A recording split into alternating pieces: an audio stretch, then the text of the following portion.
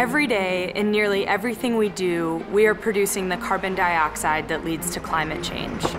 We're all doing what we can to reduce our carbon footprint, but the problem continues to get worse.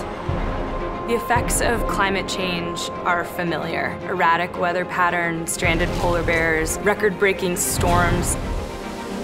But the actual cause of climate change is invisible to us. This is the bigger enemy we need to expose, the source of all of these issues, carbon pollution.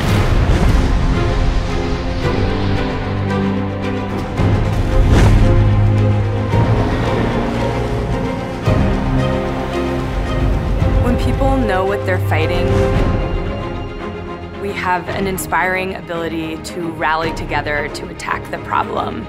But we can't fight something we can't see. Cool Effect is changing that. This is the FLIR camera. It's what makes seeing carbon dioxide possible. Well, carbon dioxide, like all of the other gases in our atmosphere, is not visible to the naked eye.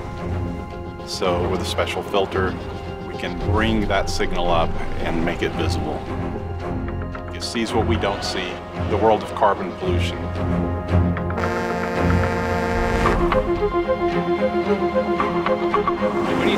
I don't see it. Fire? I don't know. Yeah. Carbon dioxide. Oh my god, that's all the gas coming from the cars and stuff. Crazy, crazy, crazy. Wow, that is like the fires of hell.